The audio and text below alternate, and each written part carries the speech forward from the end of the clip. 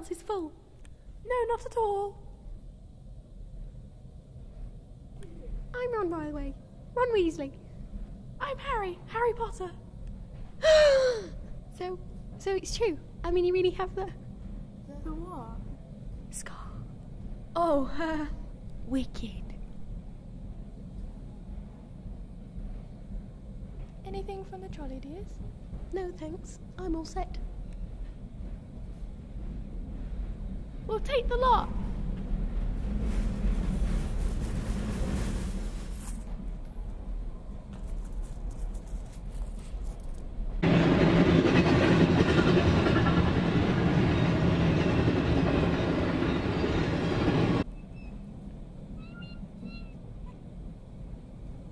Bertie Bott's every flavour beans.